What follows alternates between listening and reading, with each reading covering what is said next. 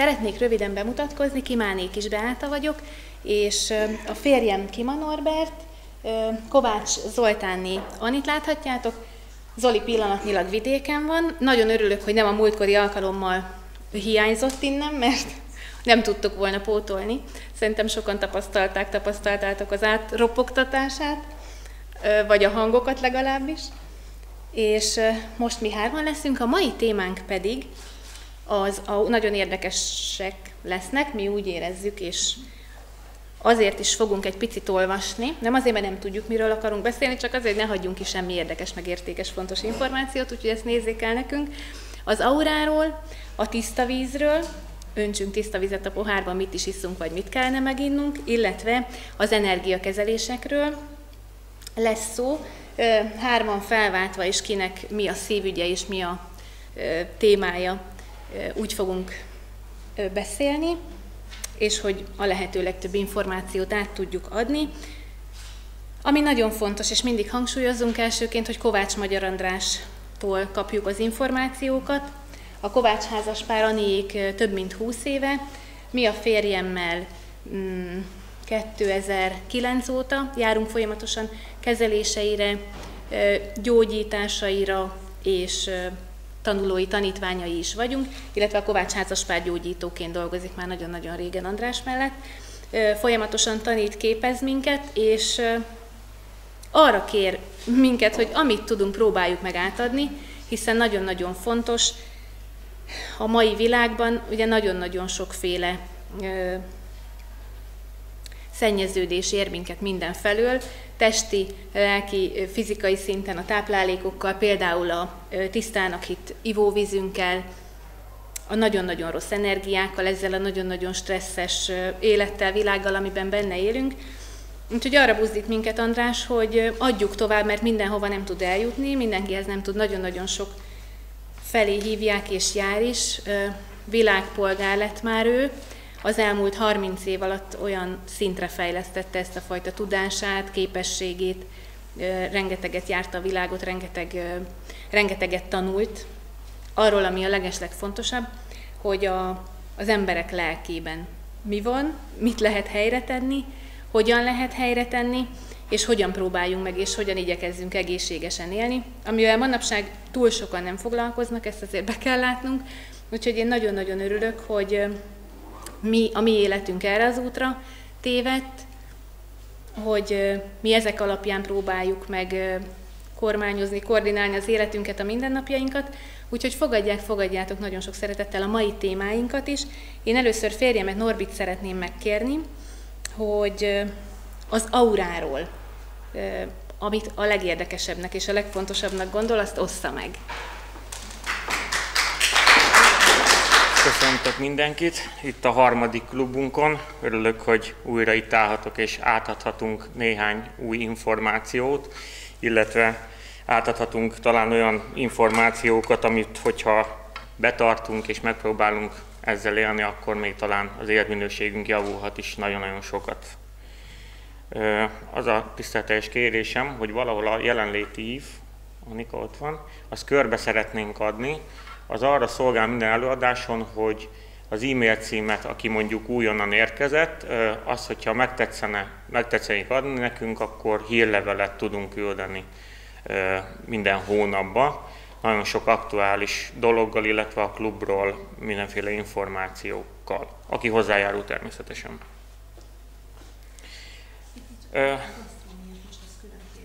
Azt majd elmondod, jó? Én nem akarom azzal rabolni az időt. Igazából akik már járnak a klubunkba, azoknak lehet unalmas lesz egy picit, de talán még hát, ha nem. Mindig a pálcával kezdeném az előadást, mert ez alfája, omegája nagyon sok mindennek. Mégpedig a káros földsugárzásokat ezzel a pálcával, ezzel a műszerrel tudjuk kimérni. Tehát ő a műszer, velem együtt közvetít, és megmondja, hogy hol vannak azok a káros földsugárzások a föld alatt, amik nekünk az egészségünket károsítják, nagyban károsítják. Ezek vízerek és Hartmann zónák. Gyorsan csak annyit, hogy a vízerek föld alatt futó patakocskák, ezek akár 5 métertől 100 méter mélységig lehetnek, és ugyanolyan kártékonyak bármennyire földfelszínhez közel van, vagy mélyen van, teljesen mindegy. Ezek a vízerek úgy károsítanak meg bennünket, hogy belefekszünk éjszakánként egy 7-8 óra hosszára, és az az idő az, amikor olyan hatást tud kiváltani, mert alulról ugye elkezdi az ember testét kihűteni, ameddig alszik, és a kihűtés alatt a szervezet automatikusan elkezd úgy próbálni védekezni, hogy termeli a hőt, a meleget. Na most ugye ez nem egy normális folyamat, hogy termeli a testünk a meleget, mert ez egy önvédelmet kezd el a test gyakorolni, és ezáltal nagyon sok szervünket begyullasztják a, a, ez a hőtermelés, és ezekből a gyulladásokból aztán természetesen később jönnek a ciszták, és a legvégén természetesen a daganatos megbetegedések, és nagyon-nagyon nagy százalékban a mai embernek ö, ez egy nagyon nagy problémája, hogy káros földsugázásban fekszik. Ö, a régi emberek mondjuk száz évvel ezelőtt, ami még nem volt talán olyan régen, nem feküdtek rá a káros földsugárzásokra, mert ők még tudatosan tudták azt, hogy ezek léteznek, és nem szabad ráfeküdni. Minden két óra hosszán felüli tartózkodás károsítja az emberi testet. Tehát pontosan ezért káros az éjszakai alvás, mert ugye akkor töltünk egy helyben a legtöbb időt az ágyunkban, és a másik káros földsugárzás pedig a Hartmann zónák. A Hartmann zónák az egész földbolygót behálózó kétszer két méteres négyzet rács, az egész bolygón szépen rajta van. Ez persze az egyenlítő, illetve a sarköröknél kisebb kockákat kell kezelni Európában, mondjuk ez a kétszer kettes a mérete ezeknek a Hartmann hálóknak. Ez pedig ezt is egyszer kell megtaláljuk a lakásunkba, és hogyha egyszer megtaláltuk, az mindörökké ott lesz. Ezzel kapcsolatban ez a jó hír. Viszont a vízér az egy sokkal furfangosabb történet, mert a vízér az attól is függhet, hogy aszályos év volt, csapadékosabb év volt, duzzadnak a patakocskák a föld alatt, összépszűkülnek, van olyan is, amikor még ki tud száradni is teljesen egy vízér, majd pár év múlva újra megjelenik az a vízér. Tehát a vízér az, egy, az már egy kicsit furfangosabb, illetve az útja, annak úgy megy, ahogy töri magának a föld alatt az utat a patakocska, hogy a felszíni patakok is vannak, ez ugyanúgy kell képzelni a föld alatt is, tehát teljesen szabálytalanul helyezkednek el ezek a vízerek. És a méréseknél sokkal-sokkal nehezebb megtalálni a vízereket, mondjuk, mint a Hartmann zónákat. Igen, most próbálok a, a prezentációról is kicsit dolgozni, mert ezt én mindig el szoktam hagyni, annyira elkap a hív, és uh, itt most láthatjuk például a tehát a földsugárzásoknak a, a, a káros dolgait, hogy mondjuk mondjuk egy francia esetében, ahol mondjuk két ember fekszik, ez hogy nézhet ki? Ez egy Hartmann amit itt látunk. Ez a Hartmann ez 30 cm széles, és ahogy az előbb elmondtam, kétszer két méteres ö, ö, nézetrácsba helyezkedik el, és ö, tehát ugye ez mindig attól függ, hogy egy ház mondjuk észak-keleti fekvésű, vagy kelet-nyugati fekvésű, és hogyha mondjuk nem, nem észak-keleti fekvésű, akkor már az a hartmazóna tolódik. Tehát onnantól kezdve már rég lesz. Tehát régen a régi emberek ezért tudták ezt is például, hogy a házakat nem össze-vissza építették, ahogy az önkormányzatnak jó volt, hogy minél több portát ki tudjon mérni, mint a mai világban, hanem az, a régi emberek tudatosan tudták, hogy az, a, merre kell állni a háznak, merre kell legyen a bejárati ajtó, stb. stb. 100-200 éve ezelőtt, tehát nem olyan régi dolgokról beszélünk még. És uh, itt van a, a Hartmann uh, keresztnek, a, a, hogy milyen uh, betegségeket uh, okozhat. Hát ez, ez szinte mindent, gondolom ezt nagyjából így látják, hogy milyen betegségeket okoz. Illetve a másik képen látható a vízér Hartmann csomópont, na az még egy gyönyörű történet, mert ott minden káros földsugárzás találkozik, és aki egy ilyenbe fekszik benne, az nagyon beteg ember lesz. Kb. olyan beteg, mint én lettem 2006-ban. 7-ben, 8-ban, nem tudom pontosan. Olyan régen volt, hogy nem is emlékszem, de én egy ilyenbe feküdtem, hastájékon, és lett tőle egy vastag gyulladás, egy kolitis szulcaróza, amit természetesen kivizsgáltak a tükrözéssel, hogy ott van és rendben van, csak éppen azt mondták, hogy ezt nem lehet meggyógyítani. Na most ez meggyógyult, ahogy már elmondtam az előző adásokon, hát nem a, nem a orvostudomány által. Amikor valaki egy ilyen uh, vízér és hartman csomópontban fekszik, és mondjuk a fejzóna van benne, az emberek 90%-a öngyilkos lesz. Tehát ez egy brutálisan komoly dolog.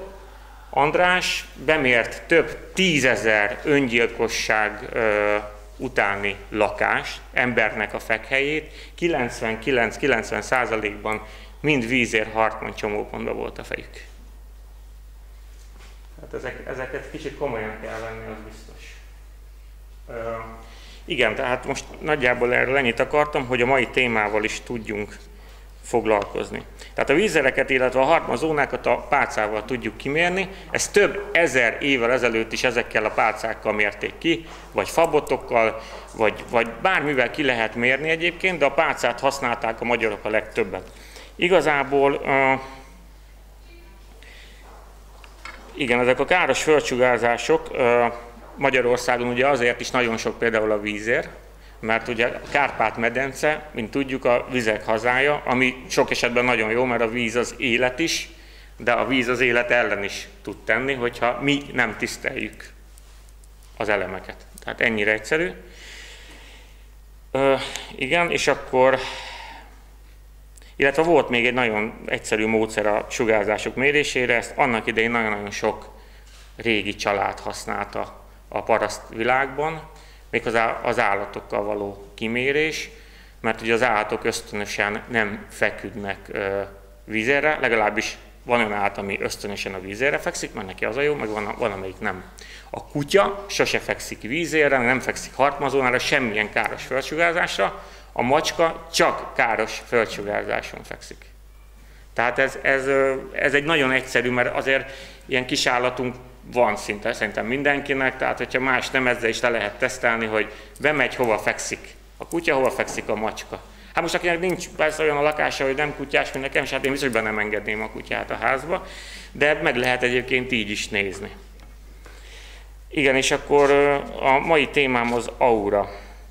Hát egyébként most nagyon érdekes dolgokat fogtok, fognak látni, illetve megtapasztalni itt gyakorlatban fogunk mutatni olyan dolgokat, ami, amit így, tehát azért fontos, hogy megmutassuk fizikailag ezeket a dolgokat, hogy, hogy, hogy a mai ember az, az csak azt hiszi el, amit lát. Na most a vízeret ugye sokan azért nem hiszik, pedig mondjuk András mindig erre azt mondja, hogy hinni a templomba kell, ezek attól vannak, tehát a földsugárzás az ott van, ha hiszük, ha nem. Csak ugye, mivel fizikailag nem látjuk őket, nem hiszük el. Na de a hatása, azt mindenki érzi, aki benne fekszik. Itt a múltkor méregettünk aurákat, nagyon sokat. És uh, biztos vannak itt olyanok, akik a múltkor is itt voltak, és mértünk aurákat, és anélkül, hogy bármit mondtak volna, megmutatta a pálca, hogy hol van a probléma a testen. És utána én mondtam el, hogy itt van a baj, igen, az tényleg, ott is, ott, igen. Tehát itt, itt nem lehet ezelől elbújni. Az aurával kapcsolatban térjünk rá egy kicsit az aura dolgra. Ugye az aura a, az egy energia burok. Ez mindegyikünket körbevesz. Az energia burok, ez körbeveszi az embereket, körbeveszi az állatokat, körbeveszi a növényeket, ez mindent körbevesz, ami él. A, ez annyira ö, régen tudtak az aurákról is például az emberek, hogy ősi ballang festményeken már az ős emberek ábrázolták az aurát. Hát ők hivatalosan nyilván nem tudták, hogy ez aura, csak azoknak az embereknek megvolt még minden képessége ahhoz, hogy érzik és látják az aurát. Ma a mai ember olyan szinten van letompítva már az élelmiszerek, illetve az italok, illetve a mai, mai helyzet miatt, hogy a mai ember, ez körülbelül 4-5-6 éves koráig van meg az a képessége, hogy látja az aurát. A gyerekek látják az aurát. De utána ez szépen elmúlik, ahogy az ember megnő, ez elmúlik. Van egy pár ember, akinél ez megmarad, de azok általában az, azok egy más dimenzión mozognak azok az emberek.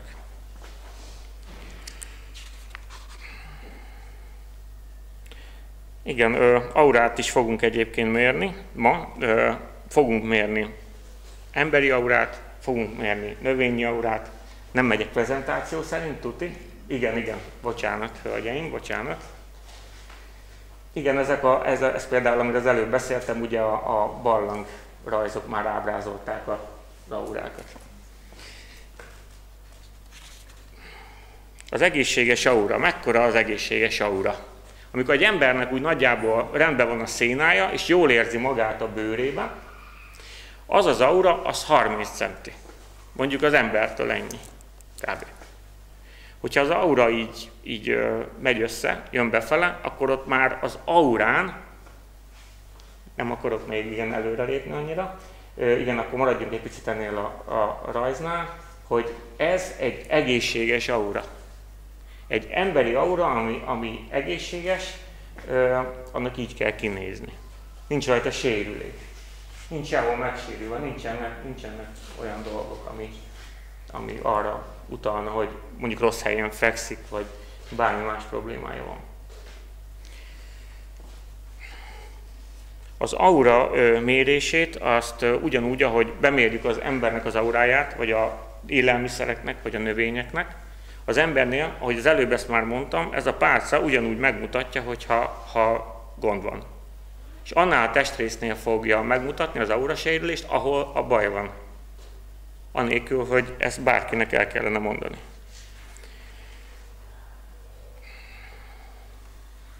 Igen, a, az aura a, az egy olyan energiaburok, ami percenként változhat. Percenként változik, változhat. Elég, hogyha az ember mondjuk kap egy olyan telefonhívást, kap egy olyan örömhír, történik vele egy olyan izgalmi állapot. Az aura abban a pillanatban vált.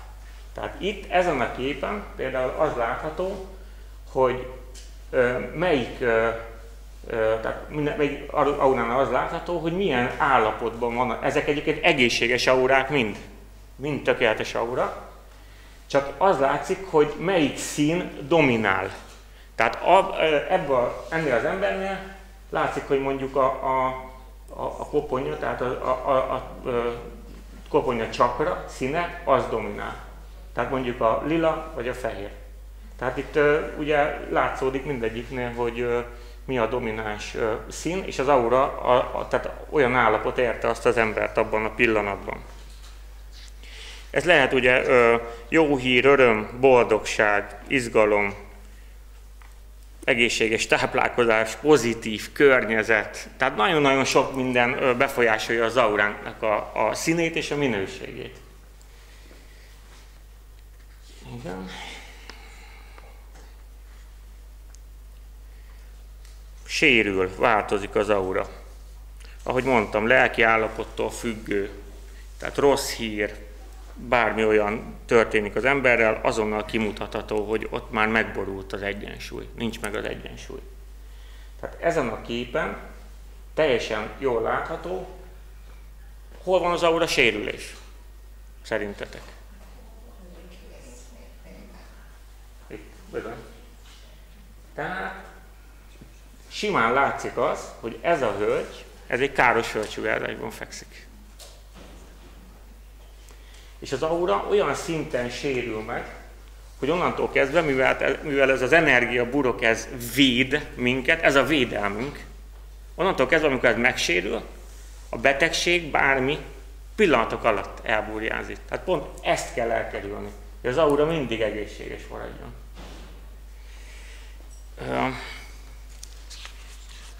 Léphetünk egyet. Bocsánat, csak közben lapoznom is kell, hogy ne maradjon ki semmi lehetőség szerint.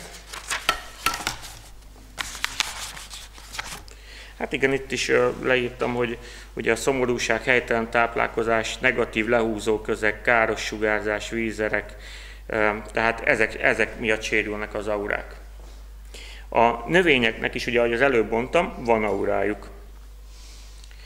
Na most itt az a, az a, az a nagy komolyság a növényekkel kapcsolatban, hogy ugye vannak a nagy vegyszerezett növények, meg vannak a nem vegyszerezéssel előállított, illetve megtermelt növények. Hatalmas aura különbségek vannak. Tehát eh, egy vegyszeres növénynek mondjuk van 5 centi aurája. Egy, egy normális, tehát normálisan termelt növénynek, amit nem permeteznek, nem vegyszereznek, ott egy méter, több méter, bármennyi aura lehet. Ma otthon kíváncsiságból rámértem egy pár dologra, hát döbbenet. És ezzel összvisz annyi a probléma, hogy ezeket a ö, növényeket, zöldségeket, gyümölcsöket megvásároljuk, és bevisszük a szervezetünkbe. És onnantól kezdve, hogy beviszünk egy ö, sérült aurájú növényt, vagy gyümölcsöt, vagy ételt a szervezetünkbe, onnantól kezdve a mi auránkat elkezdi meggyengíteni. És akkor meggyengül az aura, akkor az előbb ugye ott volt a példa, hogy és hogyha még benne fekszünk egy káros felsugárzásba, ez tuti. Az akkor biztos, hogy ott úgy jól fog sikerülni minden negatív értelemben. Az élelmiszereknek is van aurája. Minden feldolgozott élelmiszerre rá lehet mérni. Minden, minden, itt fogunk ma csinálni méréseket, meg fogjuk mutatni, hogy, hogy ezt hogy kell elképzelni, hogy milyen aurája van mondjuk annak a bolti trapista sajtnak, meg mondjuk milyen aurája van annak a kézműves kecskesajtnak. Tehát annyira nem mindegy, hogy mondjuk egy nagyipari élelmiszer készül, ahogy készül, készül, amiből készül, szívtelenül, darálva, vagy szívvel, lélekkel otthon manufaktúrába csinálnak egy terméket. Tehát ez iszonyatos különbségek vannak. Igen, hát uh, itt is jól látszódik, hogy milyen uh, aura veszi körbe ezeket a dolgokat. Például ott az almánál is látszódik, hogy az egy jó alma. Tehát uh, ezt most azért akarjuk is szemléltetni, azért, hogy, hogy uh, úgy nagyjából képzeljük el, hogy mondjuk ennek a levélnek is tehát ugyanúgy körbeveszi azt is a védőburok, ahogy minket. Tehát mindennek megvan az aurája, ugye a, a lovasoknál, a lovaknak, a lovasoknak, mind, tehát egy védelem. És hogyha ez nincs, akkor nincs, ott nincs egészség.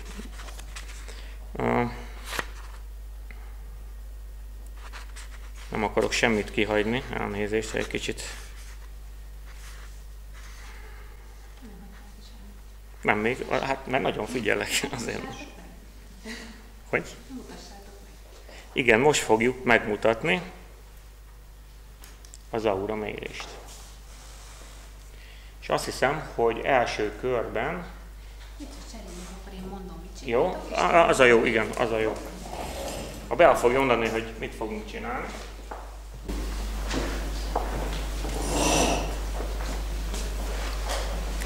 Tessenek figyelni, figyeljetek. Aki nem lát, nyugodtan álljon fel, az a biztos, hogy, hogy mi fog történni. Szerintem ami nyugodtan jó, akkor a zöldségekkel kezdhetünk, ugye? Akkor kezdjünk mondjuk ezzel a friss salátával. A picike saláta, az az Aniék sajátja a kertjükből ma szedte föl, megmosta vízzel, ennyi történt, meg vette egy bolti, hát nagyobb méretű, szebbnek tűnő, jobbnak kinéző salátát, és akkor mind a kettőt mutasd meg Léci hogy melyiknek mekkora. Vagy pedig csak így? Először csináljuk meg így, aztán megfogja bárki. Jó? És akkor az a lényeg, hogy ott meg, aki megfogja majd azt az élelmiszert, annak az auráját is ö, befolyásolni fogja az élelmiszernek az auráját. Vagy Norbi, te fogd akkor, jó? Hogy itt ne a gépek körül lógjon, és akkor ott jó. fölnyújtod, és akkor látják. Aki meg nem látja, nyugodtan közelebb is lehet szerintem jönni, vagy fölállni, mert érdekes. Kamera lát?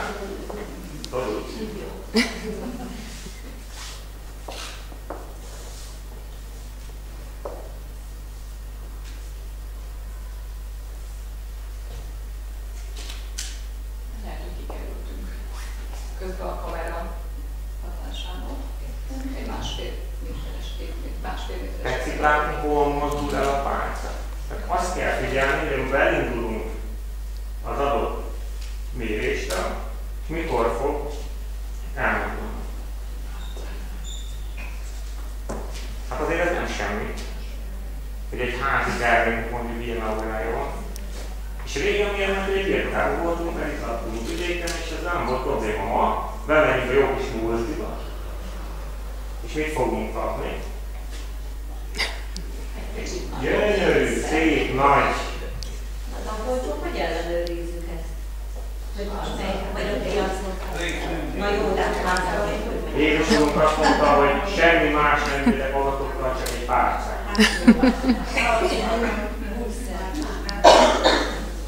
Tessék, ugye?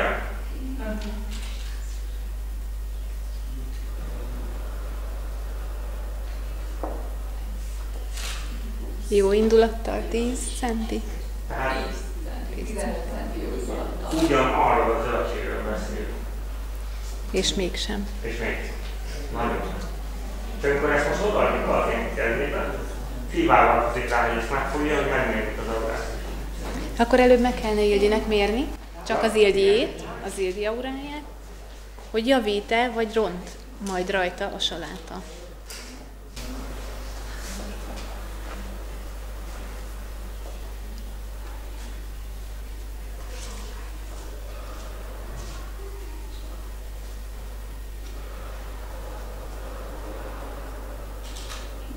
Ilyenkor aurában. Ez egy olyan 80 centi.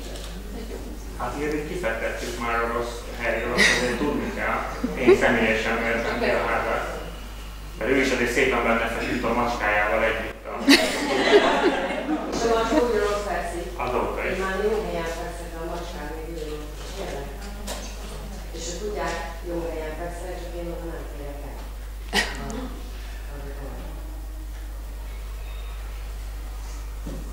És ennyivel kisebb lesz az aura, ebből a salátából lesz a vacsora. Most még csak megfogta a között. De ha meg is eszi, akkor ez lesz. Hát, te- tetszik érteni? Hogy mit, mit csinál? Tehát,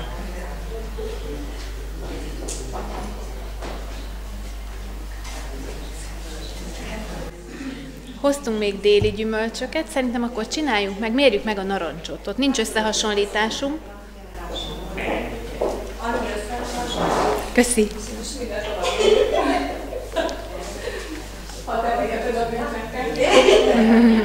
Most gondol, gondoljatok bele abba, hogy ezek a déli gyümölcsök, a déli gyümölcsök azért nem ajánlottak mondjuk az európai embernek egy, mert minden szervezet, ahol születik, azt a genetikát viszi, azt kell egye igya, ami az ő földjén megterem. Nekünk nem kell flancolni, tehát nem, nem kell nekünk Afrikából gyümölcsük, itt van az alma, itt van a körte, itt van a szilva, itt van cseresznye, megye, kell minden. És az a gond, ez az egyik gond. Tehát nem is alapul a maga az európai ember szervezetének a banán. Alapból nem jó. A másik gond meg az, hogy ezeket a gyümölcsöket leszedik ott kint, teljesen éretlenül zölden, és beteszik a kamionokba, és ott ráfújják a gyors érlelőket, és mire ide az autatik Európába, addig ez ilyen szépen megérik, hát ö, szerintetek mekkora aurája lehet annak a gyümölcsnek? Megmutatjuk. Kívánom, ha a narancsot megnézzük az auráját.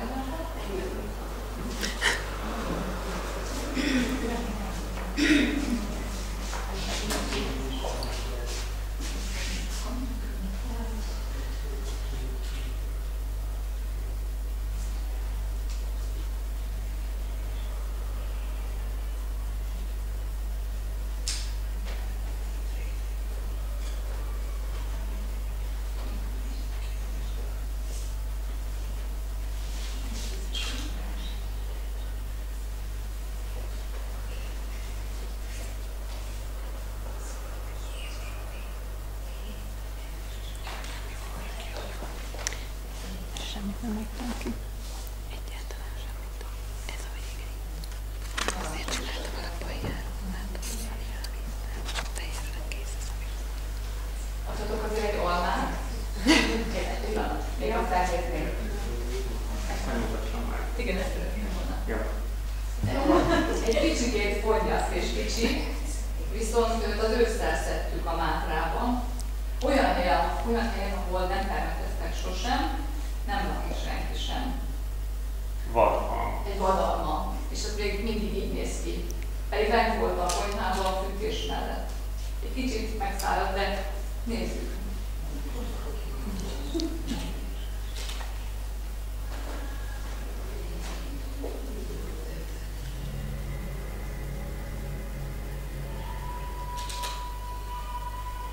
És ő még így is növekedett Tehát itt volt a hölgynek az aurája, ami nem rossz. És ebből dupla lett. A fonya talmában. Szépen a.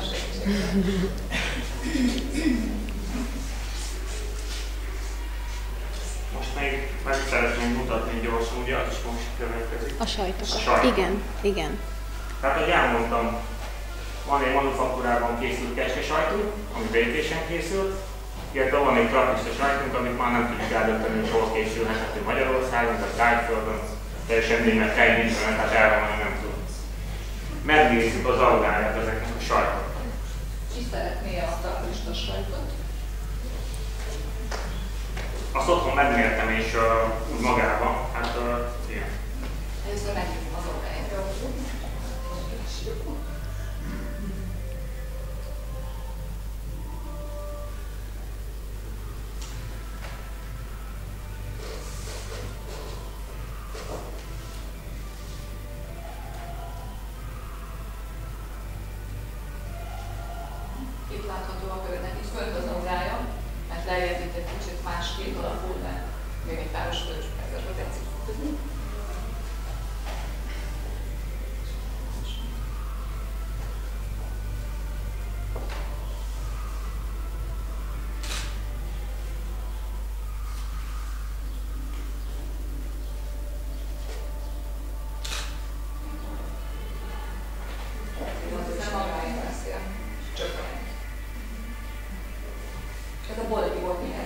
Ilyet ne tessék vacsorázni. Köszönöm szépen. És van még egy sajtó, még van egy vállalkozó, amiben meg tudjuk nézni a manufakturában készült sajtot. Ez egy vörös borban érlelt kecske sajt Igen, igen, egyébként.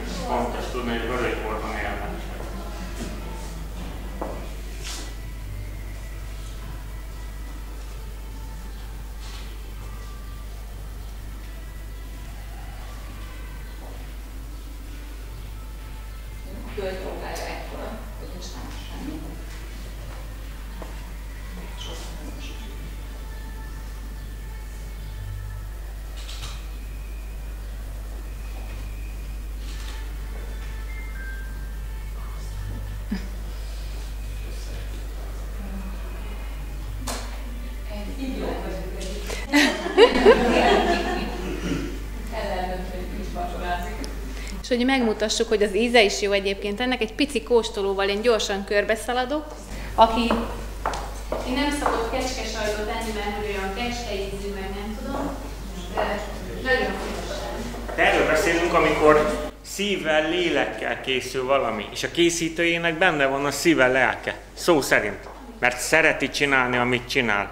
Nem nagyipari, amikor az élelmiszeriparra azt mondjuk már, hogy élelmiszeripar, tehát onnan ott van a kutya elásva. Amikor ipar, ipar, beszélünk arról, amit beviszünk a szervezetünkbe, az, az, az már jó nem lehet. Van-e üzenete a víznek? Ezt már a tudósok is kutatják. A 21. század a vízről fog szólni, csak még nem tudják. Kutatják, de nem tudják, hogy mi ez. Mi ez a víz, amiről szólni fog. Tudományosan igazolható Masaru Emoto vízkristályokkal végzett kísérlete, amely szerint a negatív és a pozitív dolgokra máshogy fagy meg egy vízkristály. A szennyeződésmentes, tiszta víz gyönyörű hatszögletű kristályokat fog mutatni, míg egy szennyezett víznek eltorzult alakja lesz. Jól látható a köszönöm szóra, hogyan alakul a vízkristályoknak a formája, elrendezősége. Azon kívül, hogy egy köszönöm szóra hogy reagál egy vízkristály, a zenére is reagálnak a vízkristályok, illetve a gondolatainkra is. Itt át is léphetünk a következőre.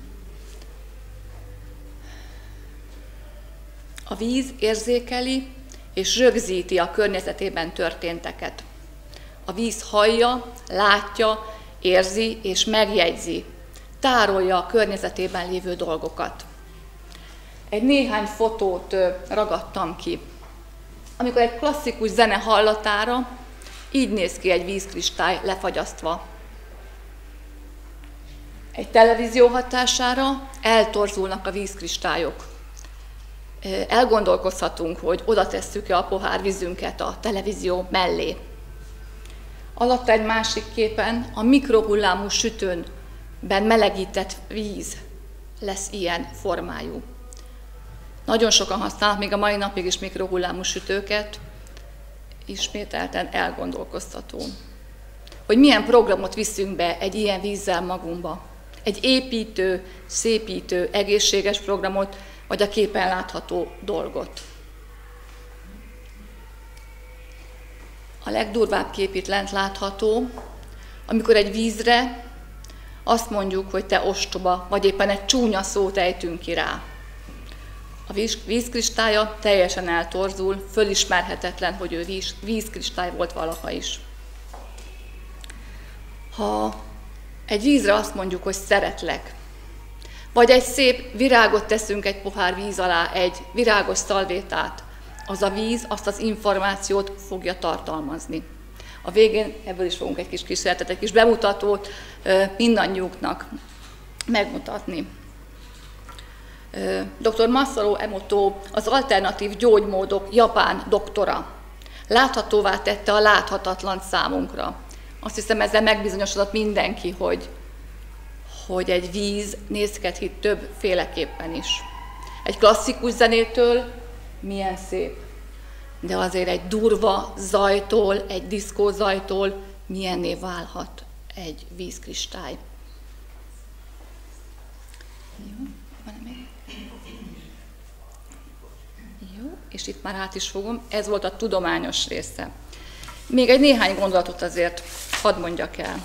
Testünk közel 70%-át a víz építi föl, agyunk 90%-át. Az előbb látott képekből okulva eldöntheti mindenki, hogy milyen információ vizet visz be magával. Egy forrásvizet, egy csapvizet, egy palackos vizet, és itt át is adnám a szót Beának, mert innestől az övé. Köszönöm szépen!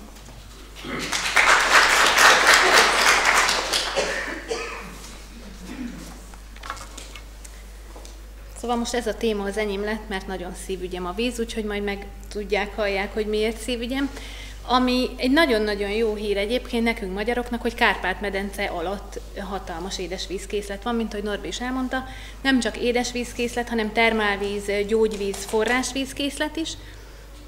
Ezek alapján egyébként Magyarországnak egy gyógyvíz nagyhatalomnak, egészségügyi, gyógyító, gyógyászati nagyhatalomnak kellene, hogy legyen. És hát miért is nem vagyunk azok, békésre vonatkoztatva, mivel ugye békésiek vagyunk, békésnek hévíze legyen értékű gyógyvize van. Ugye nagyon-nagyon sok Magyarországon a jó minőségi víz, de maga a, a termálvíz, kimondottan termálvíz mégiscsak nagyon-nagyon kevés helyen van, és ezen ritka helyek egyike Békés is például, mert a termálvíznek az a tulajdonság, hogy mindenféle paraméternek meg kell, hogy valósuljon a vízben, valamint nem lehet klórozni. Na most, amelyik termálvizet klórozzák, az már csak egy gyógyvíz minősítést kaphat meg. A békésit, a hévízit ö, nem klórozzák. És mégiscsak itt az elgondolkodtató kép, hogy a hévízitóban miért annyian fürödnek, a békési medencében és kiváló minőségű, ugyanolyan minőségű termálvízben, miért csak ennyien? Tehát miért nem tarthatunk mi ott? Miért nem érdemelhetjük mi meg békési emberek, nem vagyunk kisebbek, rosszabbak, azt gondolom. Ez azért elgondolkodtató és sajnálatos egyébként. De ha ilyen jó a mi vízünk, és a Kárpát-medence víze és Magyarország víze, akkor mi jön a csapból, és mit iszunk?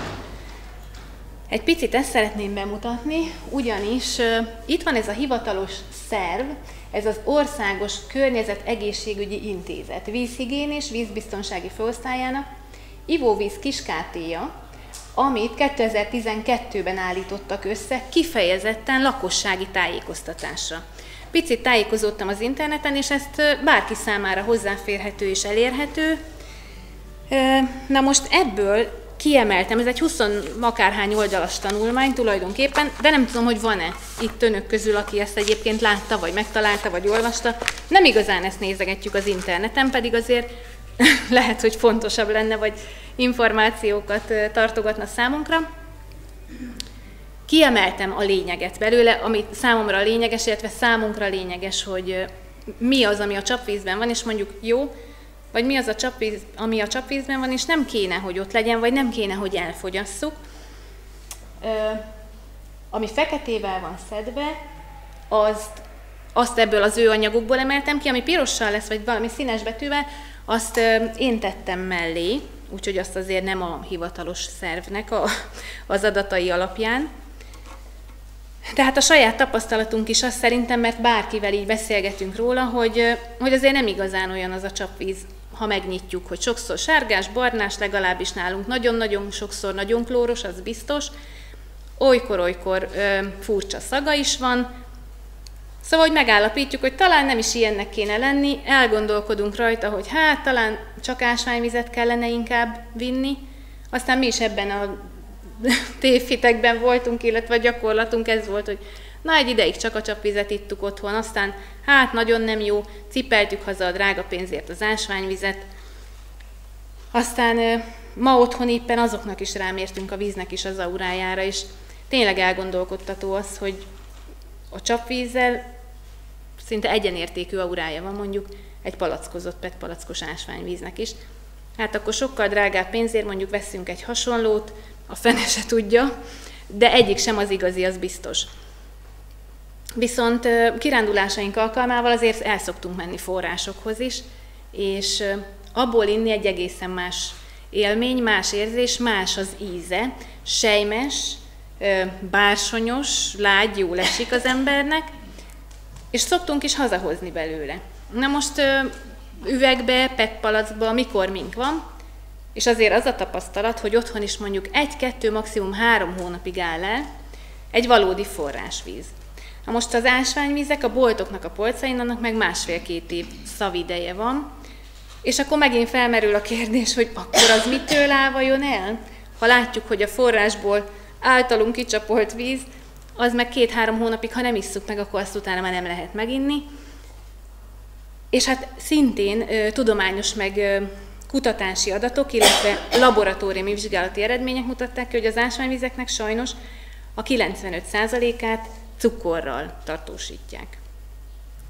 Úgyhogy akkor megint pontosan ugyanott vagyunk, talán még rosszabb, mintha csapvizet innánk is sokkal jobban megfizetjük az árát, illetve azt a hatalmas mennyiségű mm, petpalack szemetet termeljük, ami soha az életben nem bomlik le, ezt tudjuk, de majd egy picit később erre vissza fogok térni. És na igen, innen ezt szeretném, ha fogom látni, mert itt ez az ok. Egy nagyon picit vissza tudsz menni egyet? Nem. Ja, nem baj. Nem baj, akkor mondom azt, amit tudok, hogy, hogy miből is van. Ezzel kezdődik ez az egész tanulmány meg kutatásnak az eredménye, hogy miből is vannak, de ti biztosan láttátok, amíg én itt beszéltem másról is, hogy csupán 8%-a van ilyen felszíni vizekből a, a csapvízünknek, és az a lényege, hogy a 46%-a parti, úgynevezett ilyen parti szűrt vizekből származik a csapvíznek. És nem baj, ne keresd, mondom a, a lényeget. Ami azt jelenti, ez pedig már mindenféle csatornákon, ezeken a, főleg a természeti csatornákon lehet ezt látni, évek óta vetítik, és amikor legelőször láttuk, nem is akartunk hinni a szemünknek, hogy ezek a parti szűrt vizek azt jelentik tulajdonképpen, hogy, hogy a, a szennyvízünket is átszűrik, a mindenféle lefolyóból kiment vizeinket átszűrik, többféle eljárással, meg több szörös szűréssel, és azt szépen visszadolgozzák és visszaengedik a csapvízünkbe, meg az ivóvízrendszerünkbe. És a, az, a csapvíznek a fele az ebből a parti szűrésű vízből származik, úgyhogy azért ebben el lehet képzelni, hogy mik vannak.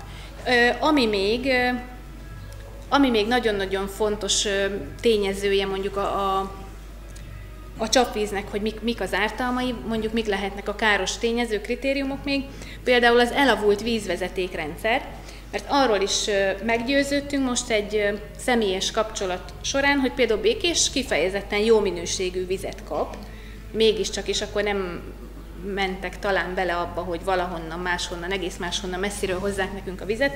Viszont olyan elavult ólom vízvezeték rendszerünk van, hogy nagyon-nagyon sokszor ezért olyan sárgás meg barnás a vízünk, hogy még ha jó minőségű vizet is kapunk, de egy nagyon-nagyon elavult rossz rendszeren keresztül, ezt is leszögezték már és írásba foglalták, hogy, hogy nem szabad már ólomvezetékeket alkalmazni, illetve hát időszerű lenne a cseréje, és ezekre az önkormányzatoknak sajnos csak pályázni lehet esetleg, hogy az elavult ólomvezetékeket, a közvezetékeket kicserélgessék. Hát ez most jelen gazdasági helyzetében ennek az országnak nem úgy tűnik, mint akik annyira ezeket az ólomvezetékeket akarják cserélgetni, sajnos.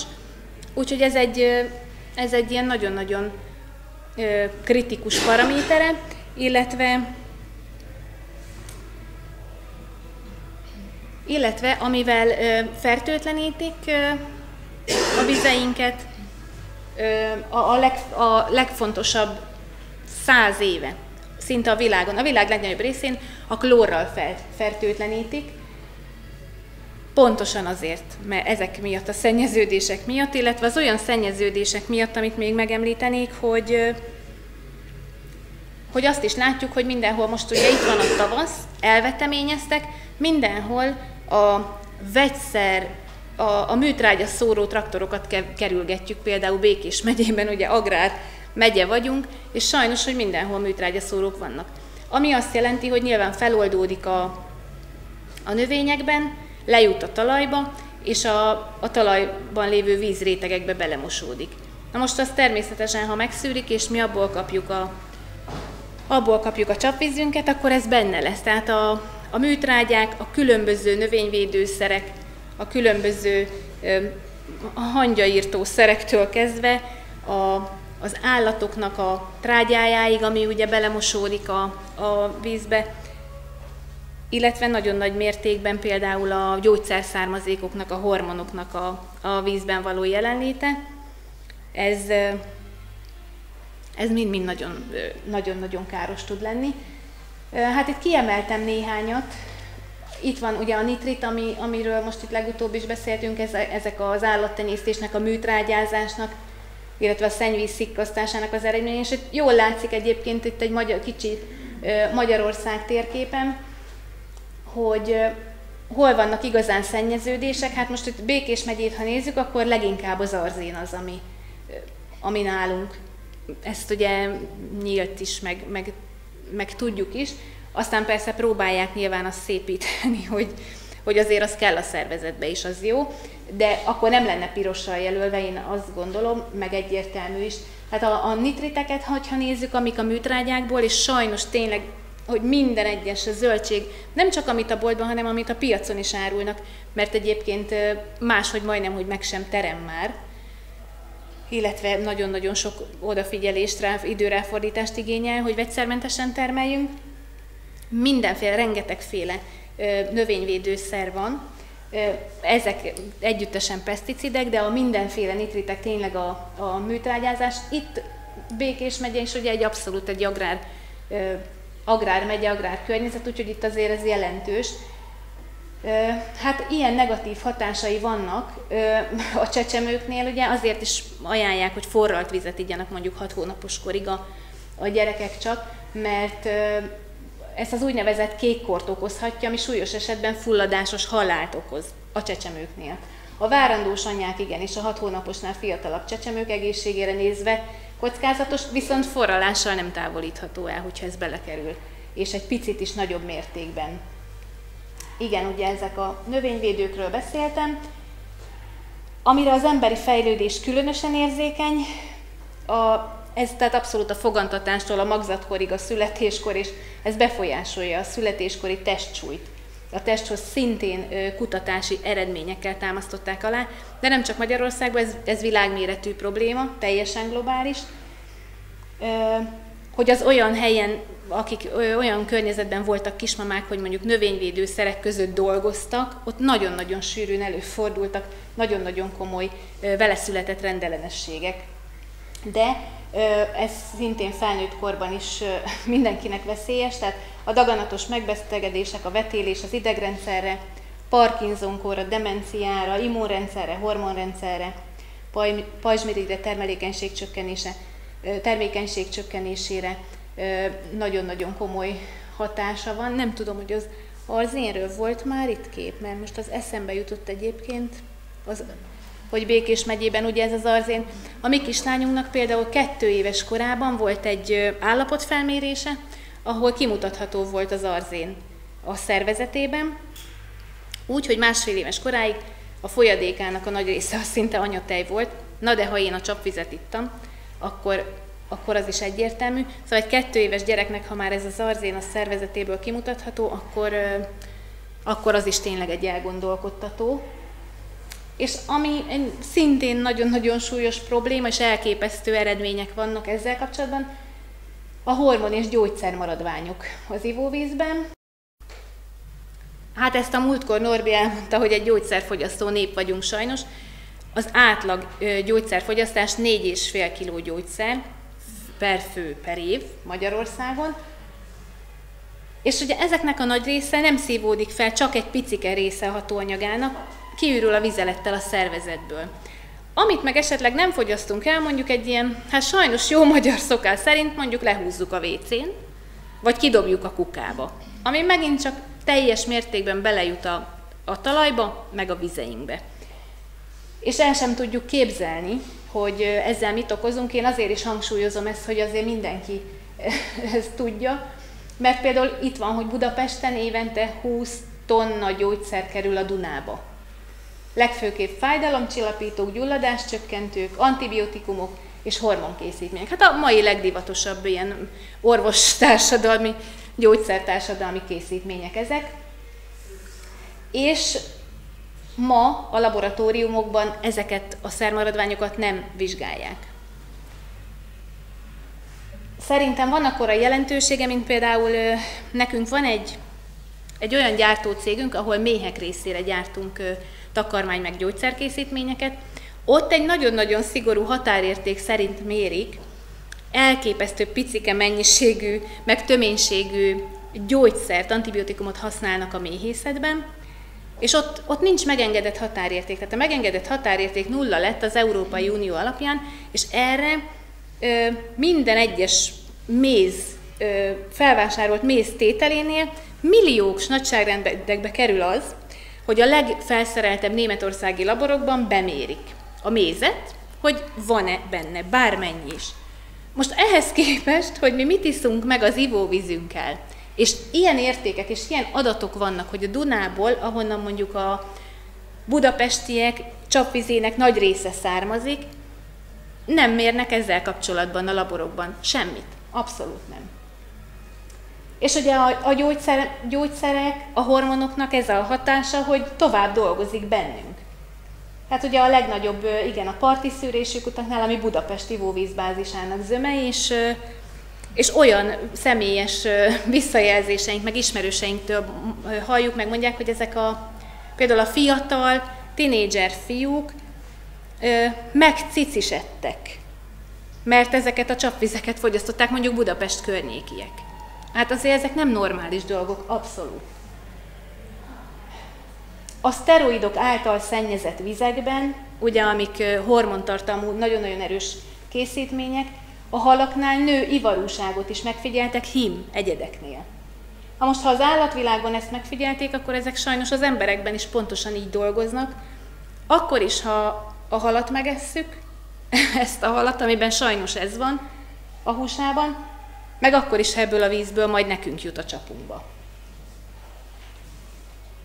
És hát ugye megint csak ezek a hormon túladagolások, tehát Magyarország vezet a rákos elhalálozások számában, ezek mind-mind-mind ezeknek is betudhatók. Mert ahogy Anni is mondta, hogy a testünk 70%-a víz, naponta több literre van szükségünk.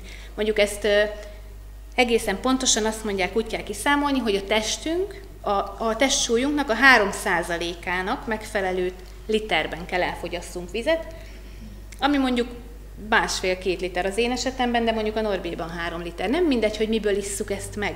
Nem mindegy, hogy miből cserélődnek ki a sejtjeink, és egy idő után minden sejtje az embernek kicserélődik, és mivé épül át. Úgyhogy ezek nagyon nagyban felelősek ezért a mai, a, a magyar társadalomnak a, a tömeges betegségeiben, azt gondolom. Ami, amit mi tehetünk, magáért, hogy csak hormonmentesítsük az ivóvizet, hogy a megmaradt lejárt gyógyszerek helyét nem a WC-ben vagy a lefolyóban van. Tehát vannak gyógyszer szelektív gyűjtők, ahová és a patikákba is vissza lehet őket vinni. Úgyhogy én mindenkit kérek, hogy terjesszék, oszták ezt az okosságot, mert, mert nagyon-nagyon fontos, és nagyon-nagyon sokat tehetünk. Mi magunk mindig azt mondjuk, hogy egy fecske nem csinál nyarat, de ugye ha apránként ezt piciben nem csináljuk, és ezek a, ezek a picike dolgok, meg ezek a amit mi magunk csinálunk, ezek azért tudnak másolódni. Tehát mi, mi azt látjuk, és azért is veszünk részt már most itt harmadik alkalommal ebben a rendezvényben, mert hogy ezen a, ebben a kis egészségklubban, mert, mert azt látjuk, hogy szeretnének az emberek tenni. Tehát vannak olyan emberek, akik szeretnének, nyilván akik itt vannak, szeretnének tenni. Akik meg nincsenek itt, valószínű, hogy akkor se tudnánk, hogyha otthon hazamennénk, és egy hangos beszélővel a fülükbe ezt belemondanánk, mert a tévé valószínű más mutatna. Úgyhogy nyilván mindenkihez nem tudunk szólni, de aki itt van, az tehet saját magáért és a környezetért is nagyon-nagyon sokat. Hát ugye megint csak itt az ólom, ami, ami a legnagyobb mértékben a, az elavult hálózatrendszer, az ivóvíz hálózatrendszer miatt kerül bele az ivóvízünkbe. Hát a 70-es évek előtt ö, építették be ezeket, de nem tudom, hogy emlékszik-e valaki, hogy mostanában lett ez kicserélve, vagy valaha lett kicserélve. Sajnos szerintem nem. A legkevesebb hely van, ahol ki van cserélve. Úgyhogy nyilván ezek el is avultak, és maga az ólom az, tehát ugye már most nem engedélyezik természetesen. Amíg nincs kicserélve azért addig gond, azt nem tudjuk, hogy mikor fogják kicserélni, és hát az idegrendszer fejlődési zavarait okozza a veseműködésben, a magas vérnyomásban van szerepe, a terméketlenségben, csecsemő kisgyermekek, várandós anyukák szintén a legveszélyeztetebb, legveszélyeztetettebb zóna.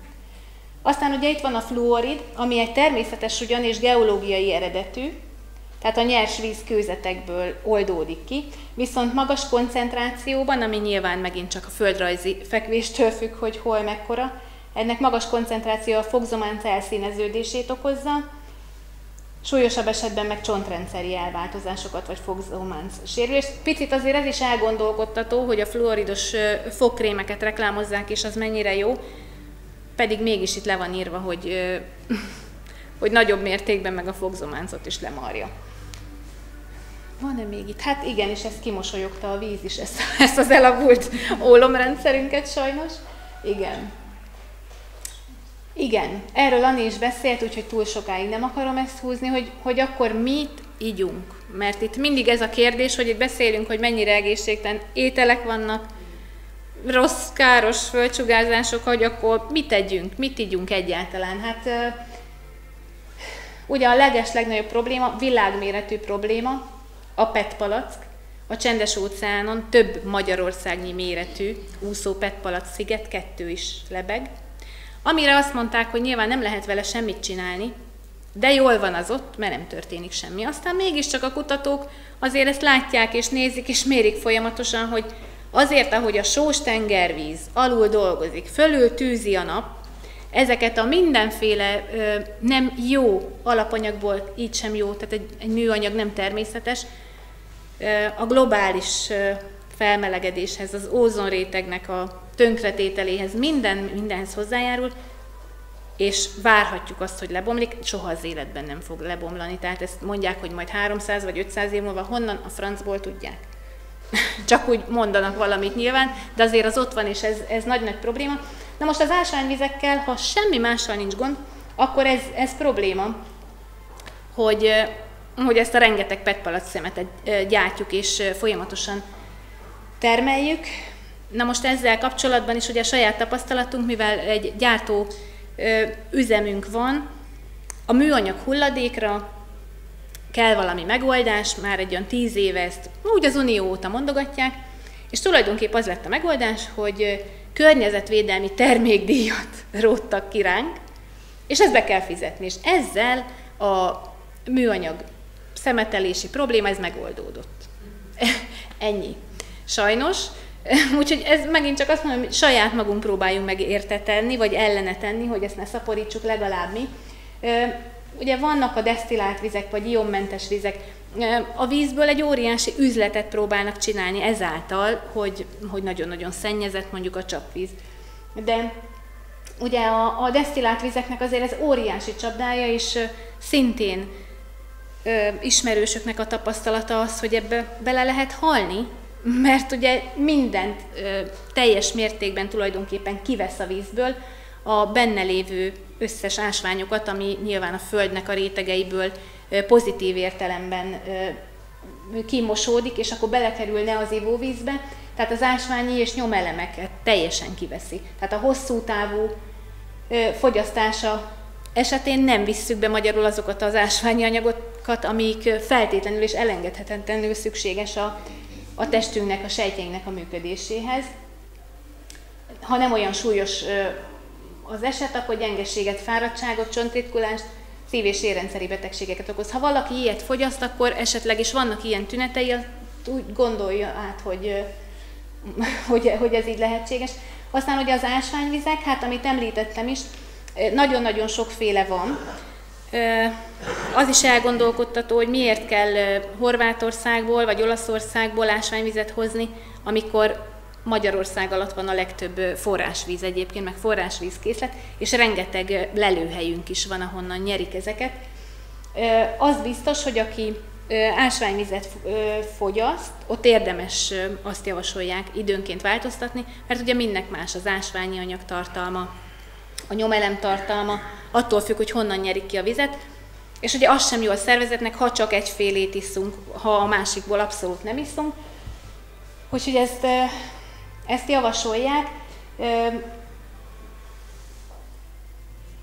Igen, és akkor ugye vannak a mindenféle, ezerféle számban, méretben, árban, tudományban előforduló víztisztító kisberendezések, amik nagyon-nagyon sok esetben engedéllyel sem rendelkeznek, vagy nem maradéktalanul minden engedéllyel rendelkeznek, nem megfelelő alkalmazásuk van, vagy mondjuk egy szűrőbetét cserét már elspórolnak belőle, és akkor talán több problémát is tud okozni, mint amennyi hasznunk van vele.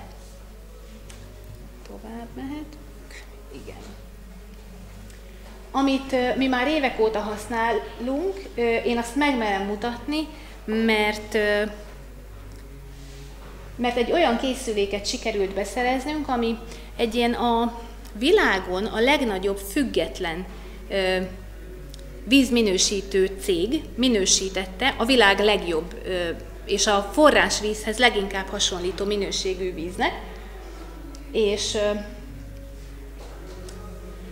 és UV szűrővel, egy szénszűrővel,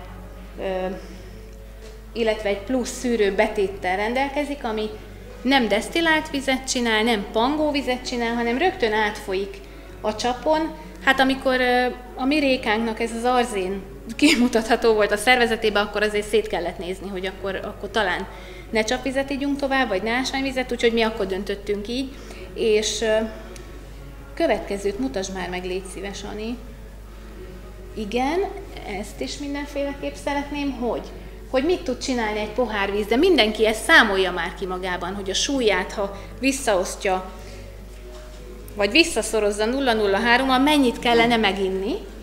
mert a megfelelő időben, ugye, és mindig egy vízre, egy pohár vízre mindig a megfelelő idő van, megmentheti az életed. Ébredés után segít a belső szervek aktiválódását, étkezés előtt fél órával segíti az emésztést, csak kérdezem, hogy oda szoktunk erre figyelni? Hiszik valaki étkezés előtt fél órával vizet? Örülünk, ha állva sokszor eszünk is. Meg utána, igen. A fürdés zuhanyzás előtt segít a vérnyomás csökkentésében, lefekvés előtt segít elkerülni a szívrohamot és az agyvérzést. És ez a kérdés, ma mennyi vizet ittál? Azt mondják szintén kutatási eredmények alapján, hogyha csak 10%-kal kevesebb vizet iszunk meg egy napon, mint amennyi a testsúlyunknak a, ö, szükséges, az agyunk csak 60%-os kapacitáson tud működni. És ez ennyire ö, rohamosan csökken, ha mondjuk két pohár vízzel, mondjuk az én esetemben ez egy pohár vizet jelent, de hányszor nem iszunk meg annyit? Tehát ez tényleg, ez megint csak odafigyelés kérdés, hogy ezt csak magunkért tudjuk megtenni, és oda kell, hogy figyeljünk. Igen, és amit még meg szerettem volna mutatni, a következőt szerintem az a szűrőbetét, az ott van még, ugye, Ani, vagy nincs? De. Hát itt Rékánk már most 5 éves, és egy, egy, a fehér szűrőbetét az egy új. Ki kellett cserélni, ez a készülék kijelezte, és hát amit kivettünk belőle, azt a vesénk szűrte volna meg. Meg a lányunké, amit nem akartunk elkerülni, úgyhogy ez egy döbbenetes így összehasonlítani a kettőt. Szerintem. Azt hiszem, hogy ez az utolsó diám. Igen. És akkor már, hogyha a kecskesajtot megkóstoltattuk, hoztunk ebből a forrásvíz minőségűből is, hogy szerintem lehet érezni rögtön a különbséget. Körbe fogjuk ezt is kínálni, majd Anika segít nekünk. Illetve akkor egy kísérletet megint megmutatnánk, ugyanis hoztunk be innen egy pohárba csapvizet, hoztunk egy PET palackos bolti ásványvizet, meg, meg hoztunk ebből a, a fajta szűrt vízből, és akkor mindegyiknek megmutatnánk, hogy melyiknek mekkora az aurája. Ez is egy, ma otthon megnéztük, és hogy tényleg az ember ilyenkor döbben rá, hogy igen, hogy van különbség.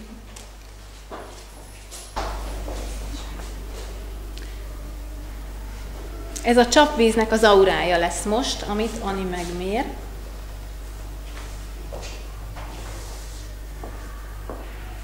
És ahol a pálca mozdulni fog, hát ott mozdult a pálca. Egy néhány centis aurája van a csapvíznek.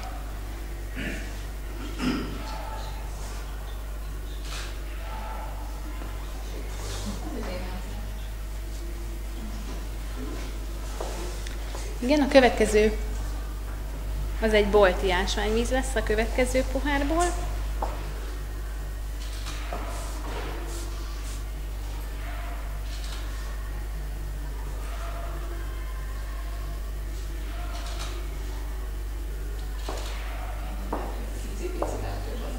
Egy nagyon picivel több, majdnem ugyanaz, mint a csapvízi.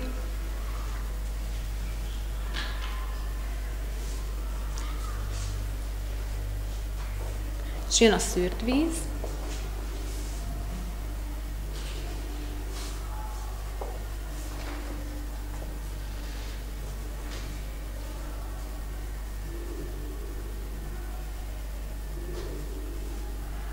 Akkor annak ott állt meg olyan két méter.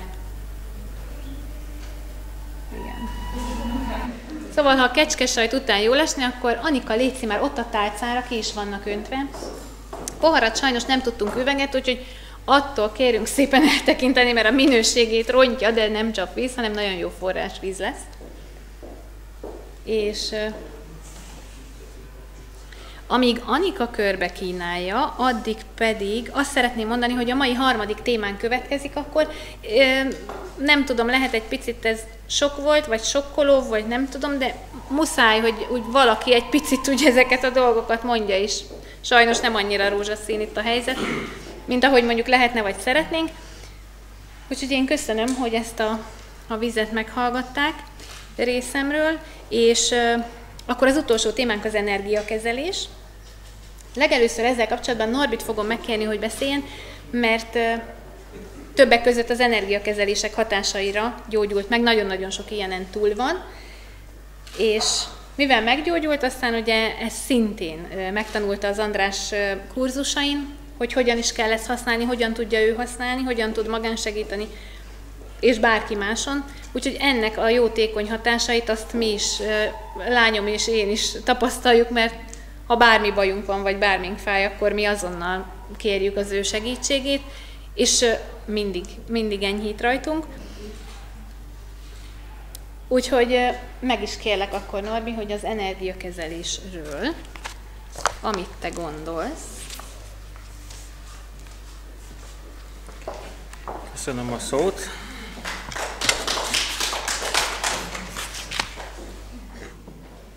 Ez megint egy ingoványos talaj, az energia. Mert nem látjuk. Ugyanaz a szituáció történik, mint a vízérnél, Hartmann zónánál. Energia. Ezeket az energiákat honnan kapjuk, és hogy tudjuk tovább vinni, hogy tudjuk ezt közvetíteni. Hogy tudjuk magunknak közvetíteni, és hogy tudjuk másoknak közvetíteni, hogy tudjuk átadni. Itt nem sokára fogunk csinálni közösen mindannyian egy gyakorlatot. Fogunk lekérni energiát, mindenki oda fogja tenni a kezét a, a, arra a pontjára, ahova legjobban úgy gondolja, hogy kellene neki, hogy gyógyuljon, vagy legalábbis jól lenne mondjuk egy kicsit feltuningolni, és közösen fogunk lekérni energiát. Ezt meg fogjuk csinálni. A energia az pont ugyanaz a dolog, mint az aura. Tehát az aura, ahogy körbevesz bennünket, és ez egy védő burok, az energia is ugyanúgy itt van körülöttünk, csak a mai ember nagyon okos, és nem használja. Tehát sokkal jobb a fejfájára egy panadolt bekapni, mert az majd megold mindent. Egyébként az előbb azt akartam még a Beának javasolni, hogy ezt pont nem mondta, hogy ugye a víznél, hogy, hogy mondjuk majdnem minden második ember migrénes fejfájással küzd Magyarországon, meg, meg abszolút nagyon nagy fejfájási gondokkal, és ha mondjuk meginna elég vizet, akkor nem fájna a feje. Csak ugye ma a tévé, amit sugároz, az, az, az, az tudjuk, hogy nem azt mondja, hogy így áll vizet, mert nem fog fájni a fejet se, hanem vegyél be egy panadolt, mert annak az iparágnak az jó. Neked nem, de nekik jó, és ez nagyon fontos. És mivel a tévé mondta, az igaz. Nem? Mondjuk én nem nézek már tévét. Tehát nem, nekem nem igaz, de az emberek nagy része úgy gondolja, mi a tévében mondták, ez így van, ez kész, ez nem lehet vitatkozni. A képen láthatunk egy képet, a képen egy képet, igen, a kivetítőn egy képet. Az embereknek a felépítése az úgy, úgy energiailag úgy néz ki, hogy hét energiatestünk van teljesen tetőtől talpig hét energiatestünk van. Van a fizikai energiánk, ugye, van az érzelmi, gondolati energiánk, kapcsolat, lélek és szellemiség energia. Tehát minden energia rész, majd még egy pillanatra visszakérem, majd nem tudjuk már visszarakni. Mindegy, el fogom mondani. Mindenki emlékszik rá, hogy ott két embert láttunk egymásba karolva. Annak a képnek az volt a lényege, hogy hogy tudjuk közvetíteni egymásnak és egymáson keresztül az energiát. A pozitív energiát is, de a negatív energiát is. A negatív energia, szerintem itt most bárki felállna, tudna erről beszélni, hogy tapasztalt már negatív energiát magán? Persze, csak eddig nem tudta, hogy, hogy mondjuk az fizikailag a testén hogy jelentkezik. Tapasztaltunk pozitív energiát? Persze, csak azt se tudtuk, hogy, hogy jelentkezik, csak mondjuk egy pozitív energiánál azt éreztük, hogy hát de most nagyon jól érzem magam, és nagyon fel vagyok töltődve, és olyan, olyan jó ez a nap. És akkor mondjuk negatív energiánál meg azt érzem, hogy Úr Isten, hogy mikor lesz a vége a napnak, hogy feküdjek le aludni. Csak, csak miért aznap? Milyen behatások értek aznap? Az előző képnél, ó, vissza is kaptuk, igen. Uh, itt azt látjuk, hogy közvetítenek egymásnak energiát, tehát egymásnak adhatunk át energiát, és amikor mondjuk egy, mondjuk tegyük fel, hogy ez az ember egy pozitív energiát közvetít mondjuk a másiknak, és közben, mivel a másik embernek a keze ugyanúgy, tehát ugyanúgy kapcsolatban van a két test egymással, tehát közvetít körbe megy az energia a kezükön keresztül, és amikor mondjuk ez az ember közvetíti a pozitív gyógyító energiát a másiknak, a másik az alatt elszívja tőle ezt a pozitív energiát. Ezt úgy is nevezzük, hogy energia vámpírság.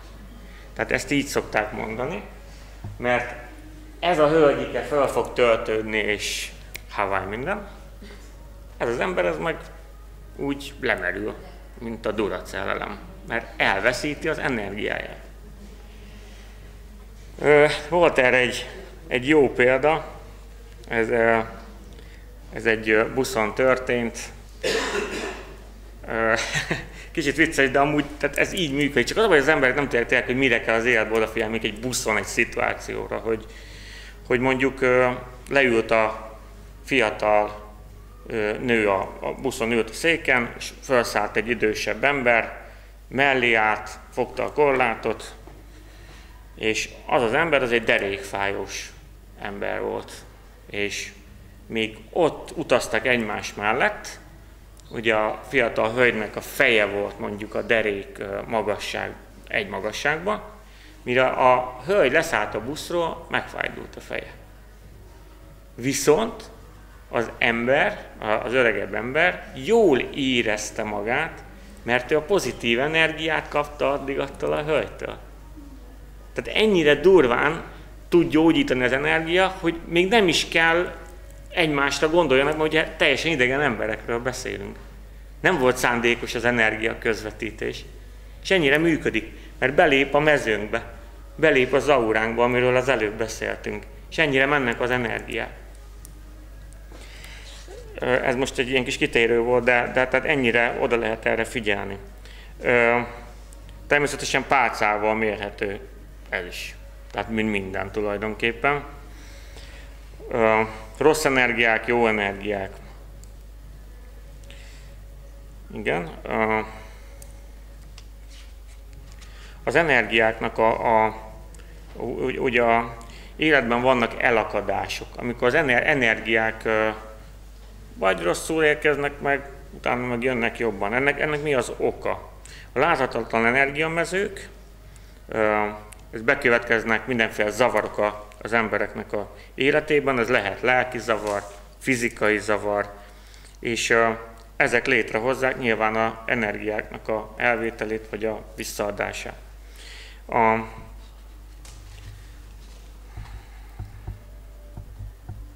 igen, a, Ani nagyon profi, például az energiatesteknek a tisztításában. Tehát ugye a hét energiatest az akkor működik jól, hogyha mindegyik összhangban van a másikkal. Tehát minden mindennel összhangban van. Nincs az, hogy az egyik jobb, a másik nem, és akkor attól én jól érzem magam. És ezeket a, ezeket a energiatesteket időközönként le kell tisztítani. Hát most ez lehet, hogy egy kicsit magasra rúgtam fel a labdát itt hirtelen, mert azért ez most így el tudlak amúgy benneteket képzelni, hogy, hogy beültek egy ilyen előadásra, és, és uh, olyan dolgokkal jövök itt, amit nem látunk, és akkor mit magyaráz ez a gyerek, hogy hogy tisztítsuk le mondjuk a energiatestjeinket.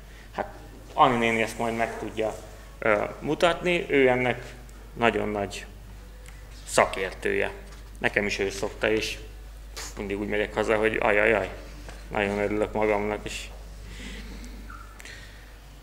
Nem tudom, hogy hallottátok-e, hallottak-e arról, hogy a magyaroknak, a magyar embereknek a 90 százalékában, mondhatnám lehet száznak is, benne van a magyar emberben a gyógyító erő.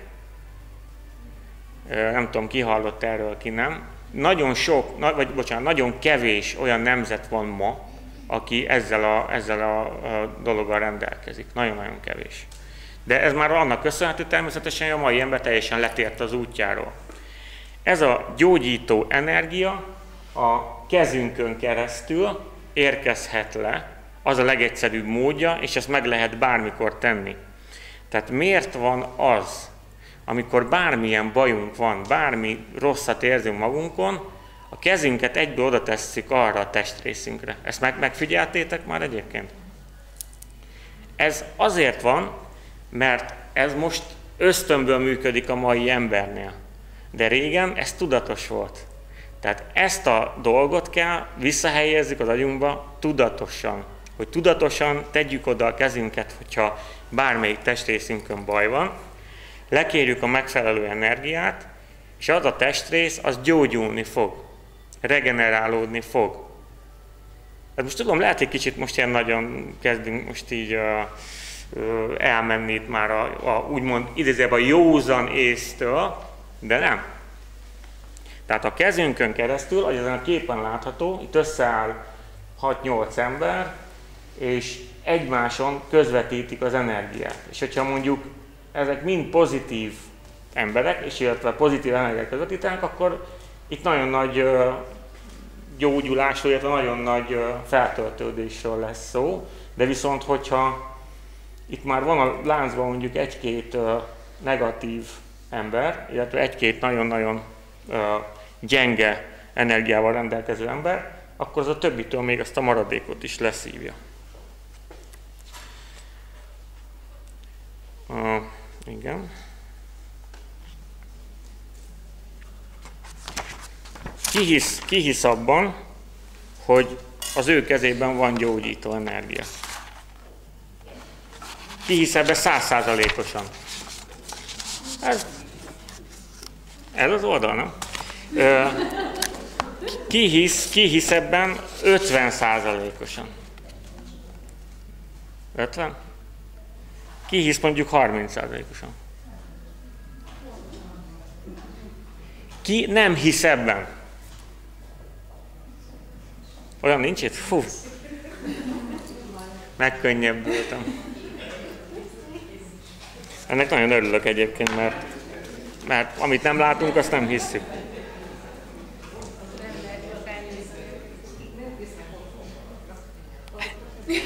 Aki otthon maradt, az nem hisz. A káros földsugárzásoknak a, a kártékony hatásába ki hisz? Ú, ez, ez, ennek nagyon örülök. Kinek van kimérve a fekelje? Fú. Hát ennek meg még jobban örülök, ezt nem gondoltam volna, hogy ennyi embernek ki van mérve. Nagyon örülök neki. Szóval a mai embernek ugye az a problémája, hogy letért az útról, letérítettek bennünket az útról, és ezt az utat mi az András módszereivel próbáljuk visszaadni az embereknek, mert ahogy a Balázs mondta, lehet, hogy egy pár előadáson itt, itt egy kicsit ilyen riasztóan hangzik, hogy, hogy hogy lehet egészségesen táplálkozni, hogy lehet földsugármentes fekhelyen aludni, hogy lehet, hogy lehet így élni, de mi ezt megcsináltuk. Mi ezt úgy csináltuk meg, és most csak azoknak mondom, akik nem voltak eddig itt, hogy fél lábbal a sírba voltam benne. És most itt vagyok, felálltunk mindenféle szteroidok nélkül, mindenféle gyógyszerek nélkül, és rátértünk erre az útra, és ugye mi hozzánk eljön bármikor valaki, és mondjuk benézne a hűtőszekrényünkbe, vagy hogy mit teszünk, iszunk, itt nem azt kell képzelni, hogy mi diétázunk. Én se úgy nézek ki, gondolom, mint aki diétán van. Tehát mi egy minőségi táplálkozók vagyunk. Minőségi táplálékot fogyasztunk. A régi világban, a régi embereknek ez ugye nem volt nagy valami, mert minőségi táplálékot fogyasztottak. Mert olyan sertést neveltek, olyan növényt termesztettek, de ma is meg lehet csinálni, mert hála jó Istennek itt Tanya Központ 3-ba ez még elérhető, hogy mondjuk ilyen kecskesajthoz jussunk, csak persze sokkal kényelmesebb, hogy beballagok a spárba, és megveszem a bepanírozott csirke mellett, és megsütöm otthon. Hát ez, tehát ez, ez borzasztó egyszerű. De miért? Azt tudja valaki például, hogy mikor a, a napos csirkéből 6 hetes csirkét nevelnek, vagy 6 hét alatt nevelnek két és fél kilós csirkét, hogy az mitől lesz két és fél kiló 6 hét alatt? Hormon, hormon injekciótól. És bemegyünk a spárba, és el vagyunk ájulva az ekkora csirke mellettől. Hát és senki nem gondol abba bele, hogy azt, amikor megeszem, az a hormoninjekció az ugyanúgy bennem is növeszti a szerveimet. És jön a prostatarák a fasziknál. A nőciknél jönnek a, a, a nőgyógyászati daganatok. Ez mind ettől van. Mikor mi levágjuk otthon a csirkét, én mindig nézegetem, hogy hát ekkora a melle. Hát, a nem létező lyukas fogamra se. Elég. De, de ez a normális. Ha most visszagondolunk, én láttam nagymamáméknál, hogy nőttek azok a piscsirkék. Hát 8 hónap alatt lett max. 1 kilós vagy 80 dekás, éppen ki lehetett rántani. És akkor én is járok edzőterem, és azt mondják nekem, hogy minden nap csirke mellett kell lenni, mert a testépítők. Hát barátom, egyél azt. Az biztos, hogy nősz is tőle, ezt én nem vitatom, növök én anélkül is. Lassabban, de biztosan. Tehát nem gondolnak bele az emberek, hogy már, már a mai emberek azt se tudják, hogy csirke hogy néz ki, csak a csirke mell. Tehát olyan brutális elbutítás van, de azért, mert a tévé ezt mondta, az úgy jó. Hát, atya úristen. És akciós is. Félromlottam Brazíliából. És mi békésen, akik itt tenyésztettük az állatokat, mi beballagunk és megveszük az argentin disznóhúst. Hú, de jó biznisz volt. És a rendes hentesek, így van, a rendes hentesek azok meg becsukják a bótjaikat, már, már nem megy hozzájuk senki. A mi hentesünk majdnem ugyanez a szisztéma. Ja, Istenem, igen.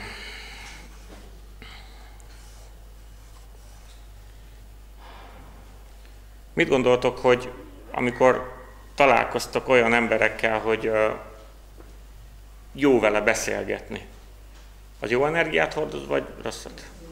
Jó. Ritka. Itt van egy. És amikor természetesen ennek a fordítotja, mennyivel sűrűbben fordul velünk elő, amikor, amikor olyan emberrel beszélgetünk, aki, akitől érzed, hogy, hogy taszít, taszít, taszít, és ő közben alattomosan így elszipkázza az energiádat.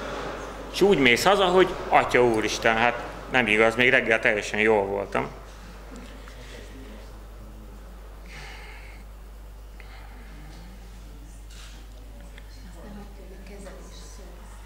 Igen. A kezelés szó, azt manapság mire használják azt egy orvosi rendelőbe, vagy egy orvosi intézkedésnek egy kezelés. Azt mondják, hogy egy daganatos betegnél azt mondják, hogy menjen el kemoterápiai kezelésre. Hát ez nem hülyeség? Kezelés. Kezelés. Energiát kérünk a kezünkkel, és gyógyítunk. Egy kemoterápia kezelés amikor mérget tolnak az emberekbe bele, és meghal úgy is. Hát akkor tehát milyen kezelés? Hát olyan szinten van eltorzítva az orvostudomány által is ez az egész dolog, hogy, hogy hihetetlen kezelés. Pedig a magyar nyelvnél beszédesebb amúgy nem kell. Kezelés. Hát csak nem figyelünk már ezekre a dolgokra se oda. Na hát akkor mi lenne, ha csinálnánk egy kísérletet? egy energiakezelési kísérletet. Kíváncsi vagyok, azért kérdeztem, hogy ki mennyire hisz ebbe, mert ugye aki a legkevesebb százalékban hisz benne, annál is be fog indulni, csak annál sokkal gyengébb ez az áramlás. Aki azért már 50 százalék fölött van, ott nagyon érezhető lesz ennek a dolognak a hatása. Hogy kérünk energiát? Mi, miből fog jönni az energia? kimegyek, jaj, van egy kis energia valahonnan. Fentről kérjük? Koronacsakránk miért van? Koronacsakránk. Majd a csakrákról is fogunk beszélni. Van a koronacsakra, ott vagyunk összeköttetésbe a fenti világgal. Most egy kicsit ez már meredekebb téma, bevallom, hogy félek is tőle, hogy meg ne dobáljanak itt. De nagyon szeretem ezt a témát, mert működik mindenki tegye oda a kezét arra a testrészére, amire úgy gondolja, hogy ráférne egy kis energia. Tegyétek szabadá kezeteket, ne fogjatok mobiltelefont, meg mindenféle olyan dolgokat, ami szóljatok, ami, hogyha meg vagyunk. Annyit kell tudni, hogy itt az fog történni, hogy nagyon csendben leszünk, ameddig nem érkezik meg az energia, utána se kell kiabálni természetesen, csak azt mindenki fogja érezni, ha megérkezett. És a végén nyilván meg fogunk kérdezni, hogy, hogy ki mit érzett. Egyáltalán ki érzett valamit, ki nem érzett valamit, de itt mindenkinek éreznie kell majd valamit. Mehet mindenki? Rendben van? Oké. Okay. Ti is lányok. Uh-huh.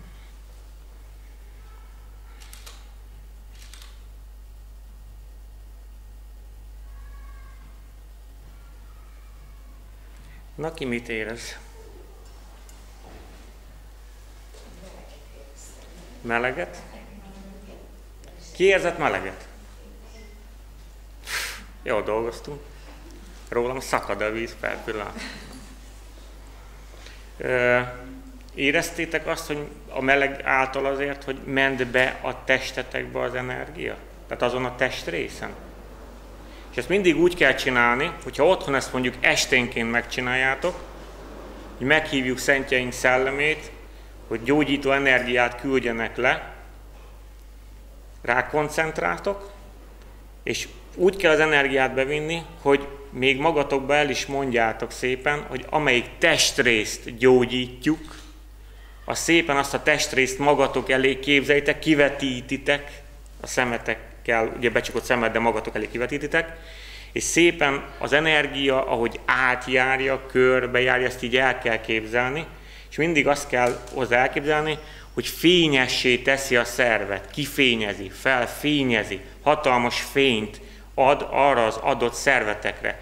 Ezt otthon megcsináljátok mondjuk a barátok közt helyett, a tévé helyett, meg mondjuk kicserélitek a kristálycukrot szőlőcukorra, meg mondjuk kifeküdtök a vízérből, Hawaii. Ezt halál komolyan mondom.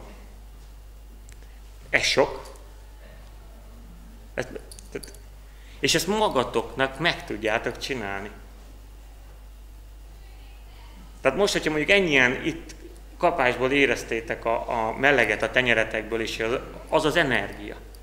Csak ugye már ma ezt nem is tudjuk, hogy ez az. És hogyha mondjuk oda nyúltál ösztönösen eddig valamihez, és mondjuk érezted, hogy meleg, hát meleg a tenyerem.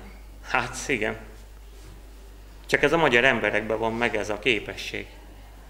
Hát nem vagyunk tudatában azzal, hogy, hogy, hogy, hogy, hogy mi a magyarnak születtünk, hogy milyen kincs birtokában vagyunk azzal, hogy magyarnak születhettünk. Fogunk most is mérni egyébként aurákat, akinek van kedve a végére itt maradni, ezt úgy is hirdettük, hogy ajándék auramérés. Abból már sok minden ki fog derülni, mert meglátjuk, hogy milyen az állapot, illetve hogy van-e káros földsugárzás, vagy nincs. Illetve ha bárkinek most is lesz kérdése, az nyugodtan felteheti, de nem néztem megint ide, és igen, igen, igen. És ez már nem is az én témám. Akkor Anit megkérném, hogy beszéljen még egy kicsit, a, ez is egy érdekes dolog lesz, és utána akkor, akit még érdekelne, az majd maradjon itt nyugodtan.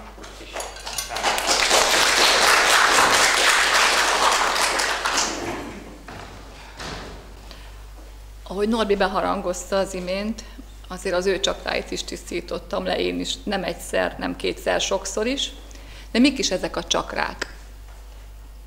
Hét csakránk van. Föntről kezdődik a korona csakránkkal, ami fehér, és a tobozmirigyünkre van hatással. A mai emberek tobozmirigye el van messzesedve, el van tompítva. Ezt már egy előző előadáson hangsúlyoztuk, hogy a flóros fokrém hatására, a gluténtartalmú ételek hatására. Ezek elhagyásával, illetve masszázsal, illetve a, a koronacsakra megnyitásával ez megváltoztatható. Következő csakránk a harmadik szem csakrája, a megérzésünk, ami viola színű és a hipofízisünkhöz tartozik. Minden egyes talpmasszázsnál nagyon fontos ennek a zónának is a masszírozása, épp azért, hogy a szerveinket aktivizáljuk, amelyik már nem működik, vagy lassabban, gyengébben működik, illetve a túlműködő szerveket visszaszabályozza. Torokcsakra. Ki nem tudja, hogyha a torkály, hogy egy kék sálat köt a nyakába, és mindjárt enyhülnek a tünetei. Ezért is a kék a színe a torok csakrának, illetve a pajzsmirigyünk tartozik ehhez a csakrához. Nagyon sok embernek van problémája a pajzsmirigyével. Csernobil óta az emberek közel 90%-ának problémája van a pajzsmirigy működésével. Talpmasszázsal szintén lehet ezeken is segíteni. Következő csakra a szívcsakra ami zöld színű. Ő az, ami a csecsemőmirigyünkhöz tartozik. A megérzésünk, a jó érzésünk, az, hogy jól érezzük magunkat a bőrünkbe, ehhez tartozik. A megnyugvást, aki izgatott, ideges, stresszelt élete van, egy megnyugvást hoz ennek a masszírozása. Következő a napfonat csakránk, ami sárga színű, és a hasnyálmirigyhez tartozik. Ő a másik olyan szervünk, a hasnyálmirigy, ami az emberek túlnyomó részében nem megfelelően működik. Ez a táplálkozástól, ahogy a Norbi mondta, a kristálycukortól, illetve a stresszes életmódtól, földcsugárzásoktól van. Köldök csakra, ami narancsszínű, és a mellékvesének a mellékvese szervünknek a, a csakrája. A mellékvesénk felelős többek között az allergiás tüneteink csillapítására is egy-egy talmasszázsnál, illetve a gyökér csakránk, ami vörös színű, ő az, ami a nemiségünket, a nőknél a petefészek, illetve a férfiaknál a heréknek a, a, az információs zónája.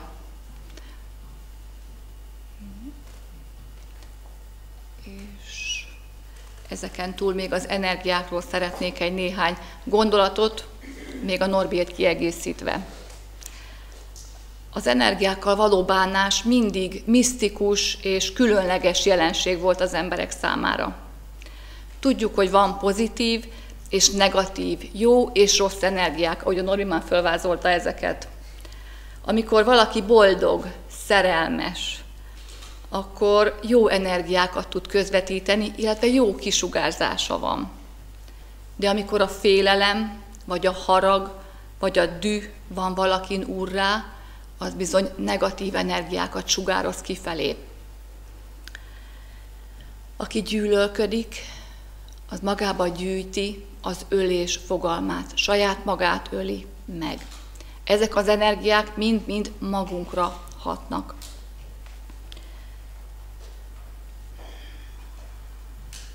Az energiával meg lehet tanulni bánni. Van, aki így születik, hogy már süt a tenyere, amikor ráteszi valakire a kezét, de van, aki tanulja ezeket. Erre van a Kovács Magyar András iskolája, ahol mi is tanultunk ajánlom figyelmébe mindenkinek, akinek jól működtek az energiái, érezték, amit a Norbi az előbb lekért energiát.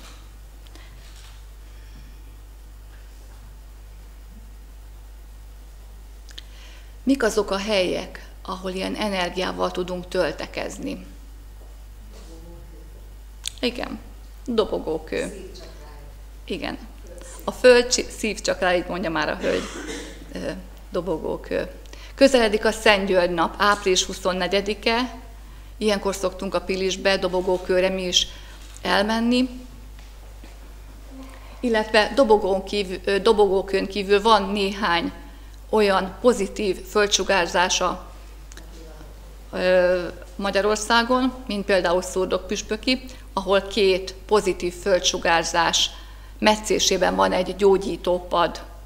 Ha tehetik, ilyen helyekre kiránduljanak el, itt tudnak töltekezni.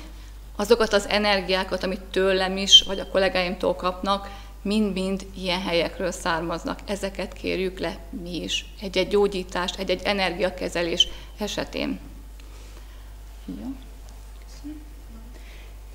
Igen. És a következő alkalom, ez a Hortobágyi napforduló lesz, június 17-én szombaton. Előre szólunk, hogy több mindenki érdeklődött, hogy busz már volt korábban, hogy indítottunk innen Békésről, hogy aki szeretne erre eljönni, szeretné megtapasztalni ezt a misztériumot, misztikumot, az tud gondolkodni ezen, illetve tudja jelezni a legközelebbi klubunkon, hogy esetleg csatlakozik-e hozzánk. A Hortobányon is van egy gyógyítópad, ami szintén egy pozitív földsugárzásban van. És azt hiszem, hogy az enyém ennyi is volt. Köszönjük szépen, ez csak egy, egy érdeklődés felkeltése volt önöknek. Még átadnám be annak a zárszót a következő alkalom beharangozására.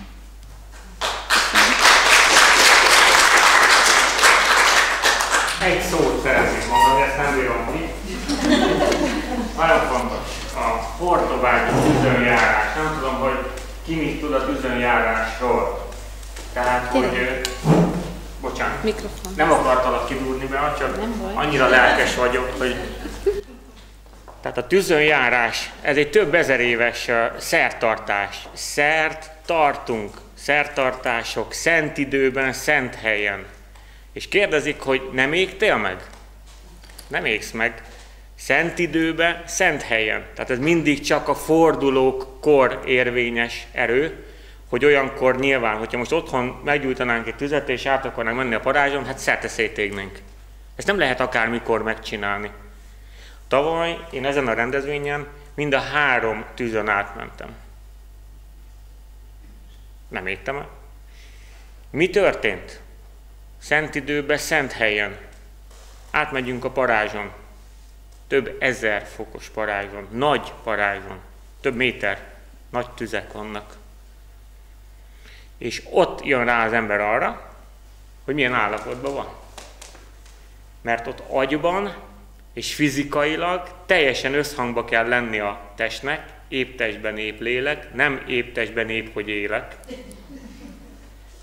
És akkor nem fog történni semmi kellemetlenség. De viszont, akinek van bármilyen baja, ott átszellemül olyan szinten, mert ezt ott elősegítik az ott lévő gyógyítók, illetve az ott lévő emberek, hogy az is nyugodtan átmehet a tűzön, ha bármilyen baja van az embernek, ott abban az időben, ott maximum annyi történhet, hogy a talpán a múlt, múltkori kurz, vagy a kurzus, a klub, ugye a talp, térkép talp masszázs volt, ott annyi történhet, hogy amikor átmész a parázson, annál a szervednél, ami a talpadon, ugye minden szervünk ott van a talpunkon, tehát minden idegvérződés és minden szervünk a talpunk kitapintható, ott egy nagyon picikét meg fog szégni azon a helyen. És mi történik? Ha ott egy kicsit megégsz, abban a pillanatban meggyógyultál. De csak ott, szent időben, szent helyen. Hát ha ilyen egyszerűen, akkor itthon is mindenki gyalogolna a parázson, és nem lenne egy beteg ember se. De ez csak ott működik. Csak a szent időben, szent helyen. És erre vannak ezek a kirándulások szervezve. Ez gyönyörű program. Egész nap. Gyönyörű előadások. És este közösen átmegyünk a parázson. Hát ennél nagyobb érzés. Hát ráz a hideg, ha rágondolok. Nagyon komoly. És abban a pillanatban meggyógyultál. Én átmentem a három tűzem, nem igaz, hogy nem égek már meg egy kicsit. És akkor rájöttem, hogy egészbe vagyok. Igen, és a hamunak is gyógyító hatása van. Tesek? Nem tudsz hamun átmenni. Ma azt nem engedik. Ezt úgy kell elképzelni, hogy van egy nagy ö, szertűz, leég, marad egy nagy parázs, az gerebjével széthúzzák. És amikor az a parázs már kezd egy kicsit ö, kimúlni, akkor mindig húznak rá gerebével, hogy mindenki érezze meg, hogy milyen több ezer fokos parázson úgy átmenni, hogy nem lesz semmi bajod. Ezt mindenkinek nagyon-nagyon melegen ajánlom, szó szerint melegen, mert ezt meg kell élni. Ott az ember onnan egy más emberként érkezik haza. Ezt teljes komolysággal mondom. Más emberként jössz haza, mint ahogy oda elmentél. Tehát, hogyha bárkinek ezzel kapcsolatban is tudunk információt adni, vagy segíteni, nagyon szívesen, mert mi ezeken a utazásokon részt veszünk folyamatosan. Úgyhogy csak ezt akartam, hogy nem akartam itt már megzavarni, mert nem én következtem, csak hogy ezeket nagyon érezni kell, ezeket a, ezek, hogy, hogy mit, mit kapunk fentről mi magyar emberek szent időben, szent helyen. És a mai ember erről nem tud semmit. Mondjuk nem iskolai anyag, az igaz. Köszönöm.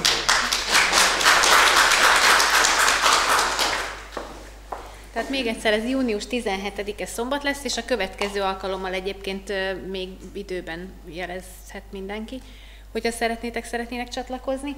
És a következő alkalmunk pedig, amit már itt február óta ígérgetünk, hogy a Dánfoké gasztrókomplexumban fogunk közösen kenyeret sütni, meg mindenféle másokat is.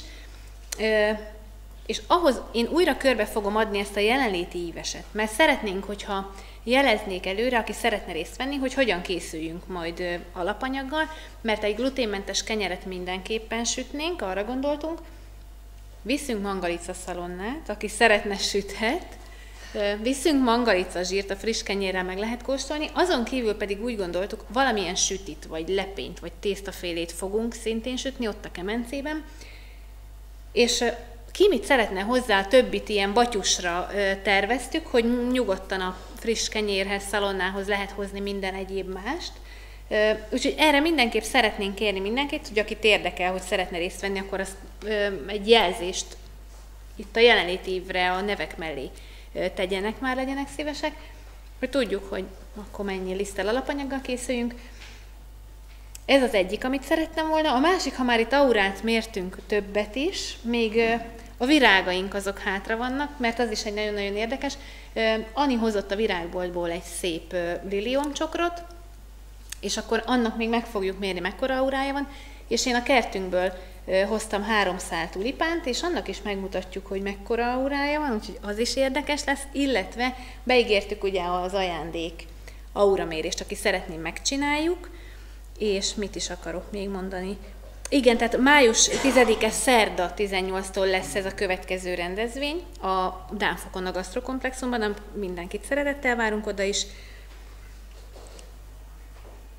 És ami ott Norbinak a, spe- a mi specialitásunk lesz az ételkészítés, a Norbi pedig, hogy egy kis hangulatos tátos dobolást fog bevezetni, hangulatot teremteni, amire, ha valakinek van dobja, vagy olyan ismerős, akinek van dobja, akkor azt mindenképpen hozza magával, és egy ilyen nagyon-nagyon jó hangulatú, kötetlen együtt sütés, főzést, vacsorázást tervezünk, szervezünk. Erre mindenkit várunk, és és akkor ennyit teszünk még itt zárszóként, megmutatjuk akkor ezeket az aurákat, jó?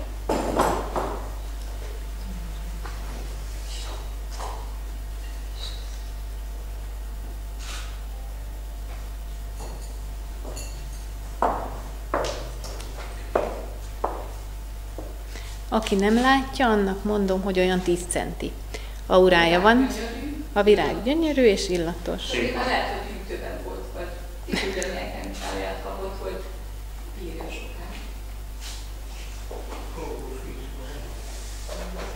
És klóros vízben van, igen. Virágnak sem jó. Nézzük a kutyám által megtépázott tulipát.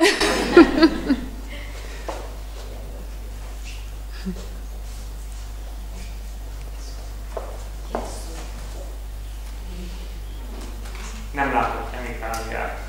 Csak klóros kapott ő. Csak klóros Egy kicsit nagyobb volt eddig, de a klóros ennyit tett két óra hozta neki. Igen. Sem, nem értünk előadás. Köszönjük szépen a figyelmet, mindenkinek jó egészséget kívánunk!